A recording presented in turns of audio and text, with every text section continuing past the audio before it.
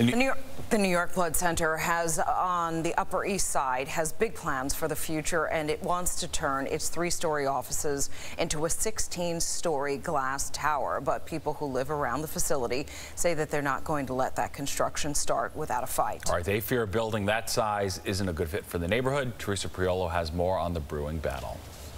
Center East location is critical to the New York Blood Center. For over two hours Monday night, over 200 Upper East Side residents listened as the New York Blood Center laid out a proposal for a brand new state of the art building to be built 10 stories higher than their existing structure on 67th Street between 1st and 2nd Avenues. It provides the Blood Center with a 21st century home in which it can continue its critical life saving work. The objective, the nonprofit says, is to create a life sciences cluster in proximity to the other prominent East Side research institutions. Our plan is to replace our current laboratory.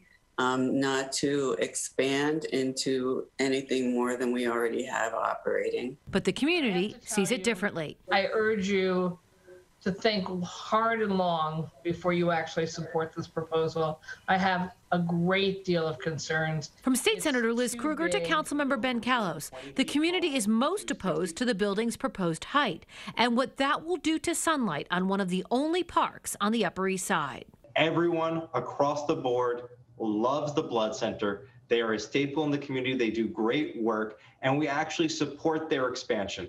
We want to see them triple their square footage. We want to see them triple the size of their building.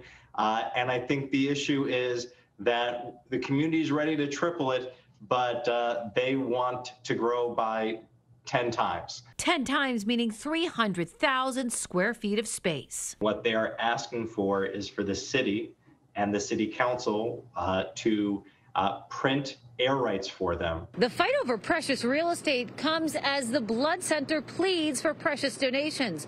Currently, they have only a four day blood supply on hand.